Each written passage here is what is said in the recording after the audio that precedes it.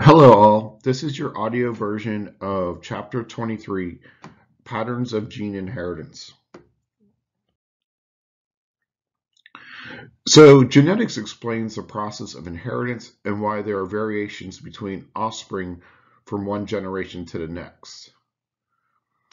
Understanding inheritance patterns is especially important in agriculture, animal husbandry, and medicine. So our understanding of genetics is based on the work of Gregor Mendel, and he investigated inheritance in plants in the 1860s and concluded that plants transmit distinct factors to offsprings, now called genes found on chromosomes.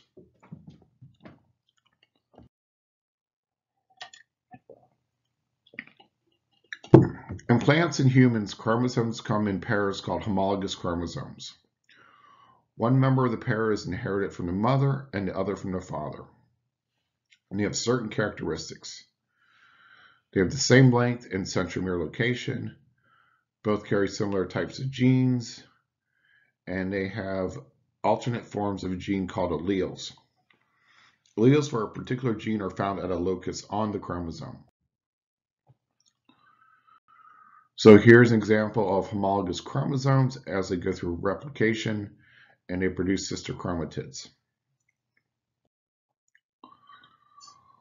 The law of segregation. Mendel had no knowledge of chromosomes, but he decided based on his observations that the following were true. Each pea plant has two factors for each trait, and one factor can be dominant over the other. And they separate during the formation of gametes or sex cells. And each gamete or sex cell, such as sperm or egg, contains only one factor from each pair of factors and the fertilization of sperm and egg gives each new individual two factors for each trait. So very important, the phenotype is an individual's actual appearance. May include physical characteristics or microscopic or metabolic characteristics. The genotype are the alleles carried by the chromosomes that are responsible for a given trait. In diploid organisms such as humans, a pair of homologous chromosomes contain two alleles for each trait. One allele is on each member of the homologous pair, and Mendel used letters to indicate each allele. A capital letter symbolizes a dominant allele, and a lowercase letter symbolizes a recessive allele. And dominant refers to the allele that will mask the expression of the alternate or recessive allele when both are present in a given organism. So the example here given is freckles. The dominant allele of freckles is assigned to a capital F. The recessive allele of no freckles is assigned a lowercase f. In the case of a single trait, there are three possible combinations of the two alleles. If the two alleles are the same, the individual is said to be homozygous. If the two alleles are different, the individual is said to be heterozygous.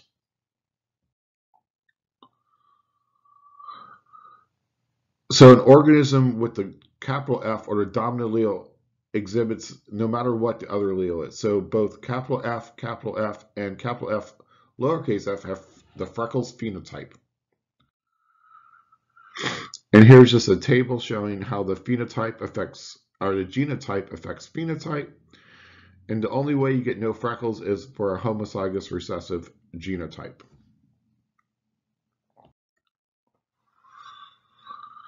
So the genotype has two alleles for each trait when the gamete has one allele for a trait. So during meiosis, homologous chromosomes separate, so one member of each pair is in each haploid cell, which form gametes. Therefore, only one allele exists for each trait in a haploid gamete. No two letters in a gamete can be the same letter of the alphabet. Here are the steps used to solve a genetics cross. Determine the genotype of each parent, list the possible gametes from each parent, combine all possible gametes, and determine the genotypes and phenotypes of all offspring. So here's a sample cross. A homozygous man with freckles reproduces with a woman without freckles. Each parent has only one type of gamete, so all offspring have the same genotype and phenotype.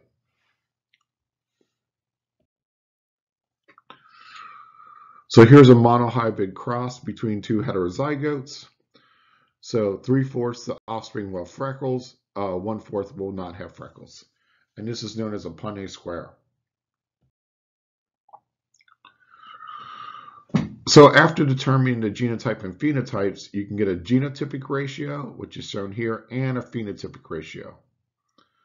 So the 3 to 1 phenotypic ratio is expected for any monohybrid cross when one allele is completely dominant over the other.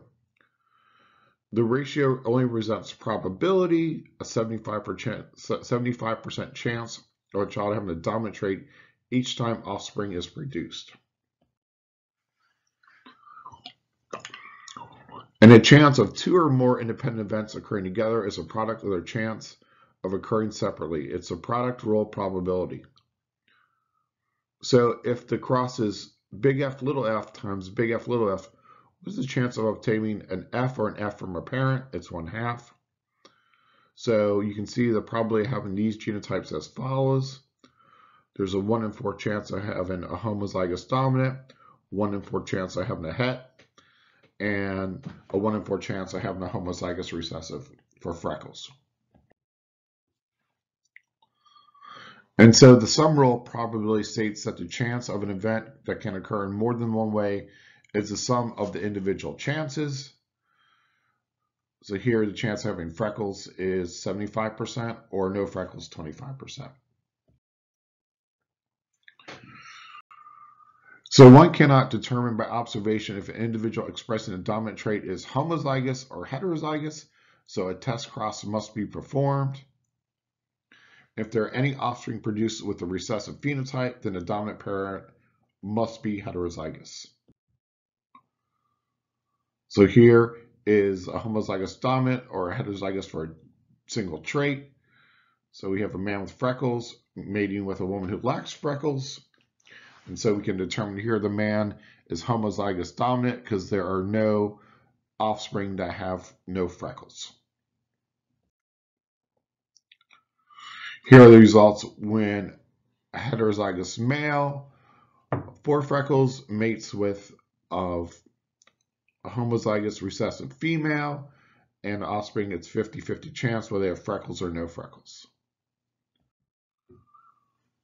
So during meiosis, each gamete receives one member of each pair of homologous chromosomes, one from the mother and one from the father, and they separate independently. It does not matter which member of a pair goes into which gamete.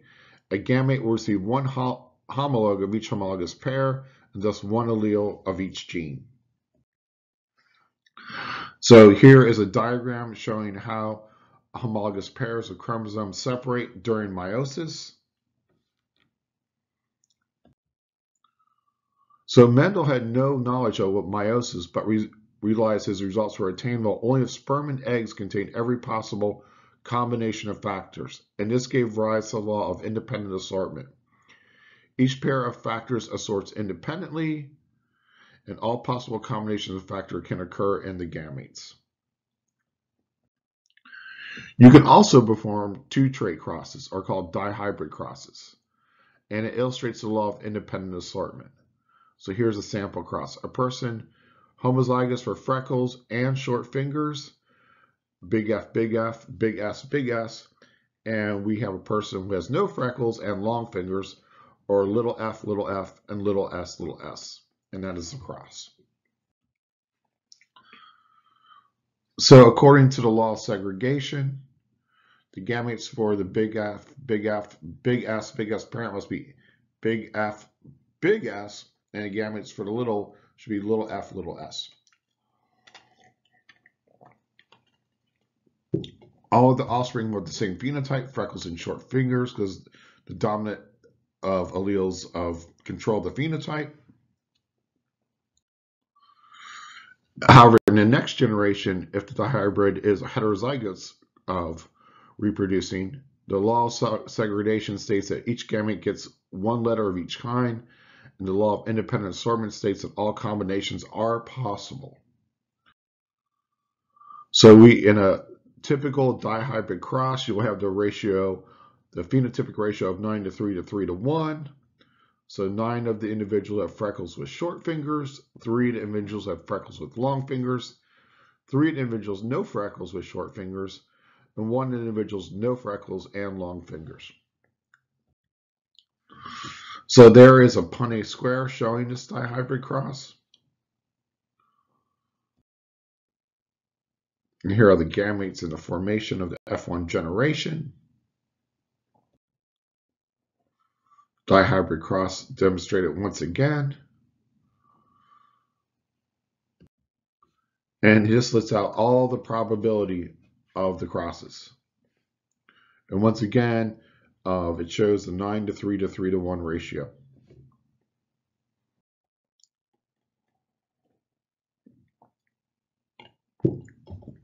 So once again, by inspection of an individual expressing a dominant allele, you cannot tell if they're homozygous dominant or heterozygous dominant. So a test cross has to be done once again with someone with a recessive phenotype because we know the genotype there.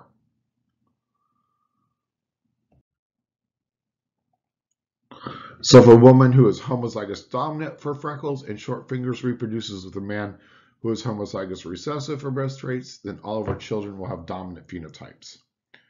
If a woman is heterozygote for both traits and each child has a 25% chance of showing one or both recessive allele. alleles. So the four phenotypes will be at a ratio of 1 to 1 to 1 to 1.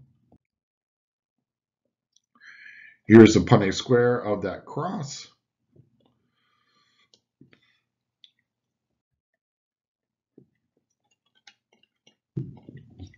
So there are observable traits in humans that follow Mendelian patterns, and there are diseases that do the same thing and these traits are controlled by a single gene located on an autosomal chromosome or any chromosome other than the sex chromosomes X and Y in humans. A pedigree is just a chart of the family's history with regard to a particular genetic trait, and this can be done for humans as well as dogs, fish, livestock. Males are defined by squares and females are defined by circles, and individuals affected by the trait or disease are often shaded or black and this is used to determine whether inherited condition is due to autosomal dominant or autosomal recessive alleles. So here is a pedigree for autosomal dominant. Remember the affected are shaded in, in yellow. In this pattern, the child is affected, but neither parent is. This can only happen if the disorder is recessive and the parents are heterozygotes.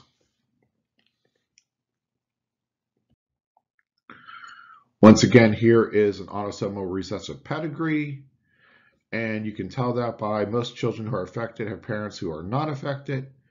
The heterozygotes have an unaffected phenotype, and two parents who are affected will always have children that are affected. And close relatives of obtuse are more likely to have children who are affected. So an example of an autosomal recessive disorder in humans is Tay-Sachs disease very common among the Jewish population, and results in a lack of an enzyme called hexaminidase, or hexa. Of the substrate, glycosphingolipid lipid is stored in lysosomes, and these lysosomes build up in brain cells, resulting in deterioration of motor functions. So here's an example of the neurons that are affected by Tay-Sachs. Another autosomal recessive disorder is cystic fibrosis. It's the most common lethal genetic disorder among Caucasians in the United States. And it's a chloride ion channel that fails and causes abnormally thick mucus in the bronchial tubes and causes this individual to cough a lot. So here is uh, the example cystic fibrosis disease where the pump does not work properly and the respiratory tract fills with thick, sticky mu mucus. Another autosomal recessive disorder is phenylketonuria or PKU, and they lack an enzyme needed for the metabolism of phenylalanine. And infants will develop normally if placed on a low phenylalanine diet, diet, but severe intellectual disabilities will otherwise result. Another autosomal recessive disorder is sickle cell disease. These are red blood-shaped cells are irregular in sickle shape due to abnormal hemoglobin. It's a one amino acid change. and you get clogging of blood vessels and breakdown of red blood cells. And other symptoms include poor circulation, anemia, and low infection resistance. So there's just a picture of normal red blood cells and a sickle red blood cell. This happens in sickle cell disease. So autosomal dominant disorders. This pattern, the child is unaffected, but both parents are affected. This is possible if the condition is autosomal dominant and both the parents are heterozygotes. Here's a pedigree of an autosomal dominant disease. All right, children who are affected usually have a parent who is affected. Heterozygotes are also affected, and two parents who are affected can produce a child who is not affected. Both males and females are affected equally, and you usually see affected individuals in every generation. So Marfan syndrome is an autosomal dominant disease. It's caused by a defect in a, in a protein called fibrillin, and this is present in the eyes, of the bones, the fingers, the ribs, and the aorta. And if the aorta is weak, there's a, a, a risk of rupturing. Another autosomal dominant disorder is huntingtin's disease, and this leads to progressive degeneration of brain cells it's caused by a mutated copy of the gene called Huntington. And most patients appear normal until they're middle aged and already have children. There's no effective treatment, but there's a test now to tell you if, if you have the disease or not. And there's just an example of loss of neurons in a Huntington brain on the right compared to the many neurons in the normal brain on the left. Another autosomal dominant disorder is osteogenesis imperfecta, and this usually uh, results from collagen mutations and causes weakened brittle bones. And they have skin elasticity and weakened teeth. Uh, it is treatable with drugs that taken for long term of bone mass increase. So these are simple inheritance patterns, all right, that, that basically follow Mendelian genetics but there are a lot of other diseases that do not follow these simple patterns. So incomplete dominance occurs when the heterozygote has intermediate phenotype.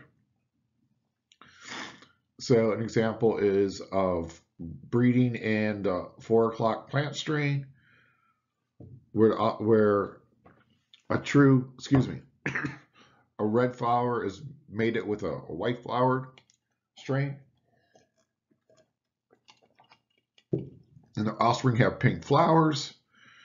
And then when you breed two pink flowers together, they have a phenotypic ratio of 1 to 2 to 1.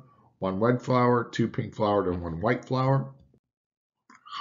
Here's a Punnett square of, of that of breeding. And so an example of incompletely dominant genetic disorder is, is familial of hypercholesterolemia, which causes increased cholesterol of in the person. And a lot of traits are controlled by multiple alleles, such as the ABO blood groups in humans. Excuse me. So there you can have A antigens on your blood cells, B antigens on your blood cells, or neither, and that would be blood type O.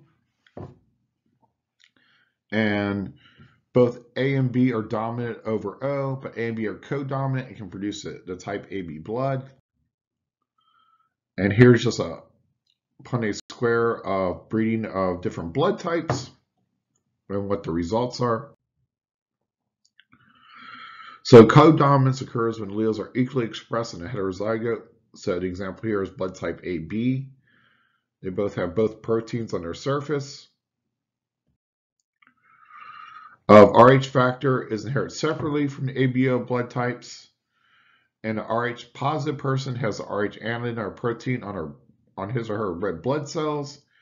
And there are multiple recessive alleles for the H minus negative phenotype.